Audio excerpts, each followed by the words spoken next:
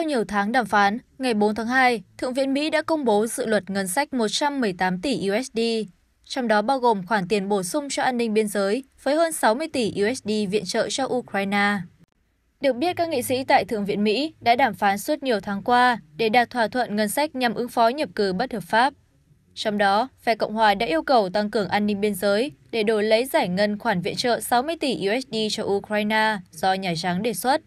Theo đó, dự luật ngân sách được Thượng viện Mỹ công bố hôm 4 tháng 2 sẽ dành 20,23 tỷ USD cho siết chặt an ninh biên giới, 60 tỷ USD viện trợ cho Ukraine, 14,1 tỷ USD để hỗ trợ an ninh cho Israel, 2,44 tỷ USD cho Bộ Tư lệnh Trung tâm thuộc quân đội Mỹ và các hoạt động tại Biển Đỏ. Bên cạnh đó, 4,83 tỷ USD sẽ được chi cho hỗ trợ các đối tác của Washington tại Ấn Độ Dương và Thái Bình Dương,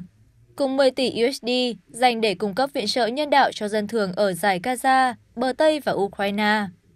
Đến nay, Mỹ vẫn là bên viện trợ quân sự lớn nhất cho Ukraine, với hàng chục tỷ USD viện trợ an ninh và liên tục cam kết ủng hộ Kiev đến chừng nào còn cần thiết. Tuy nhiên, sự phản đối của các nghị sĩ Cộng hòa theo đường lối cứng rắn đã làm dấy lên nghi ngờ về khả năng duy trì viện trợ của Mỹ khi Ukraine đang chuẩn bị bước sang năm thứ ba chiến sự. Tuy nhiên, dự luật trên nhiều nguy cơ phải đối mặt với một tương lai không chắc chắn do bị cựu Tổng thống Donald Trump và những người theo đường lối cứng rắn của Đảng Cộng hòa phản đối. Để thảo luận thêm, lãnh đạo đa số Thượng viện Mỹ Chuck Schumer đã cho biết sẽ tổ chức một cuộc bỏ phiếu vòng đầu tiên về dự luật vào ngày 7 tháng 2. Nếu dự luật này được thông qua, sẽ đánh dấu những thay đổi quan trọng nhất về vấn đề nhập cư và an ninh biên giới của Mỹ trong nhiều thập kỷ. Trong khi đó, Thượng nghị sĩ độc lập Kristen Sinema đã nói với các phóng viên rằng dự luật sẽ giúp tăng cường an ninh biên giới phía nam của Mỹ, bao gồm cả việc yêu cầu Bộ An ninh Nội địa đóng cửa biên giới, nếu có trung bình hơn 5.000 lần vượt biên mỗi ngày trong vòng 7 ngày. Trong một tuyên bố gần đây, Thượng nghị sĩ Strummer đã cho biết Mỹ và các đồng minh đang phải đối mặt với nhiều thách thức phức tạp và đôi khi có cả sự phối hợp từ những đối thủ đang tìm cách phá vỡ nền dân chủ. Theo ông Strummer, dự luật sẽ bao gồm việc triển khai thêm nhiều nhân viên hải quan cũng như thiết lập các quy trình mới để đưa ra các quyết định nhập cư nhanh hơn và công bằng hơn. Tuy nhiên, lãnh đạo phe Cộng hòa tại Thượng viện Mitch McConnell đã cho rằng họ sẽ không đạt thỏa thuận ngân sách nào tốt hơn, nhưng nhiều nghị sĩ Cộng hòa cho rằng Tổng thống Joe Biden vẫn có thể thay đổi chính sách nhập cư thông qua các sắc lệnh hành pháp sau khi dự luật được phê duyệt. Trước đó, vào tháng 10 năm 2023, Tổng thống Biden đã kêu gọi Quốc hội Mỹ phê duyệt ngân sách 106 tỷ USD cho an ninh quốc gia.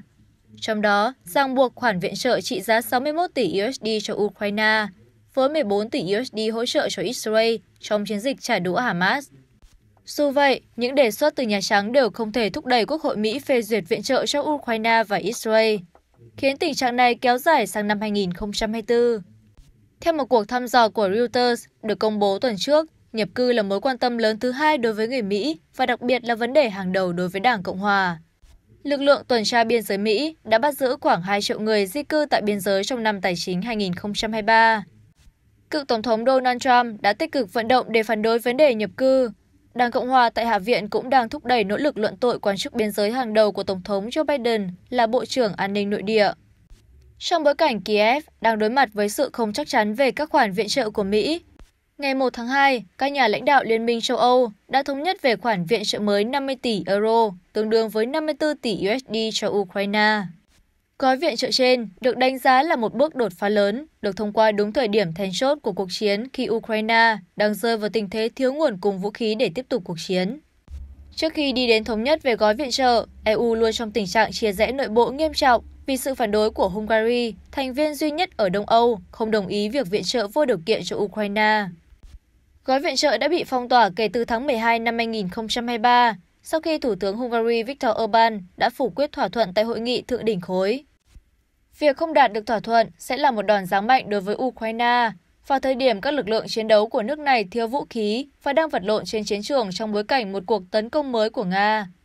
Trong khi đó, viện trợ quân sự từ Mỹ đã cạn kiệt trong bối cảnh một cuộc nội chiến đang diễn ra ở Washington về nguồn tài trợ trong tương lai cho Kiev. Qua ghi nhận, hội nghị thượng đỉnh khẩn cấp được triệu tập ngay trước Giáng sinh sau khi Hungary chặn gói này với lập luận rằng việc cấp thêm tiền sẽ kéo dài cuộc chiến ở Ukraine. Một quan chức cấp cao cho biết, chúng tôi thực sự đang bế tắc, chúng ta sẽ không biết ông ấy nghĩ gì cho đến khi vào phòng họp. Các quan chức đã vạch ra kế hoạch B, trong đó có sự tham gia của 26 quốc gia thành viên đồng ý về số tiền ngoài ngân sách EU. Việc huy động tiền, sự kết hợp giữa các khoản vay và đóng góp của nhà nước, theo cách đó phức tạp hơn, cần có sự chấp thuận của Quốc hội trong một số trường hợp. Theo thống kê từ Trung tâm Chiến lược Kinh tế ở Kiev, những nhà ủng hộ phương Tây đã cung cấp khoảng 73,6 tỷ USD viện trợ tài chính kể từ khi xung đột Nga và Ukraine nổ ra vào tháng 2 năm 2022. Thông qua Quỹ tiền tệ quốc tế, họ dự kiến sẽ cung cấp cho Ukraine tổng cộng 122 tỷ USD trong giai đoạn 2023 đến 2027. Tuy nhiên, dòng tiền từ phương Tây đã chậm lại trong những tháng gần đây do xung đột ở Trung Đông. Năm bầu cử ở Mỹ bắt đầu và suy thoái kinh tế trầm trọng.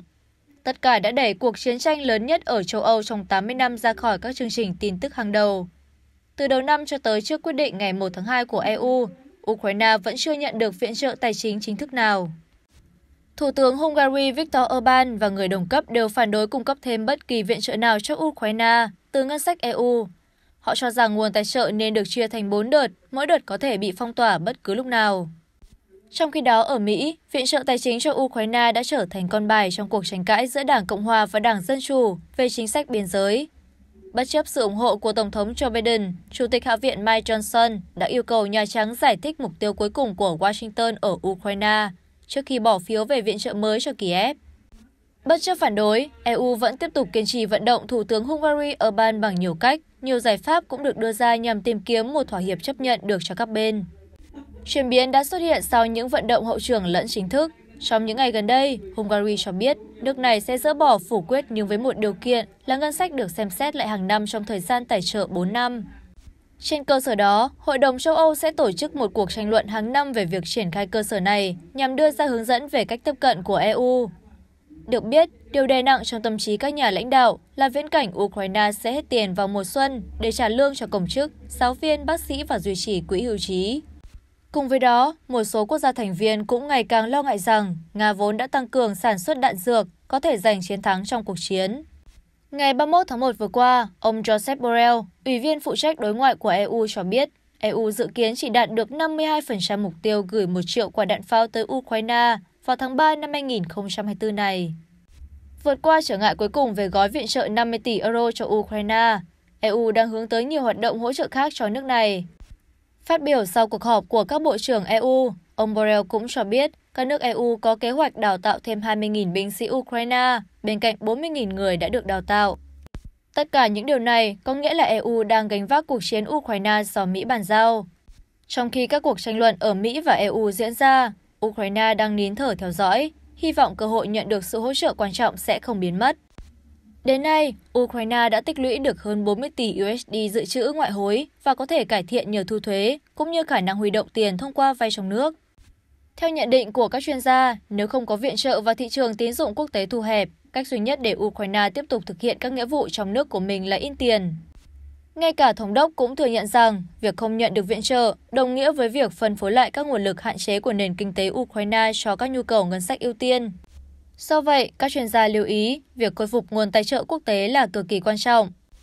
Trước những khoản viện trợ nhỏ giọt, trong một bình luận về tình hình trên bộ ở Ukraine, Tổng thống Zelensky thừa nhận có sự bế tắc, đó là sự thật, bởi đã có sự chậm trễ về việc chuyển giao thiết bị và sự chậm trễ đồng nghĩa với sai lầm. Theo ông Zelensky, Ukraine đang phải chiến đấu chống lại một trong những đội quân lớn nhất thế giới, đạn dược thôi là chưa đủ, họ cần trang thiết bị hiện đại. Liên quan đến cuộc xung đột giữa Nga và Ukraine, sáng ngày 5 tháng 2, Bộ Quốc phòng Nga cho biết hệ thống phòng không của nước này đã bắn hạ một máy bay không người lái của Ukraine ở khu vực Bryansk, giáp biên giới Ukraine trong đêm trước đó. Chiều ngày 4 tháng 2, Nga cũng tuyên bố ngăn chặn một cuộc tấn công bằng máy bay không người lái ở vùng Belgorod.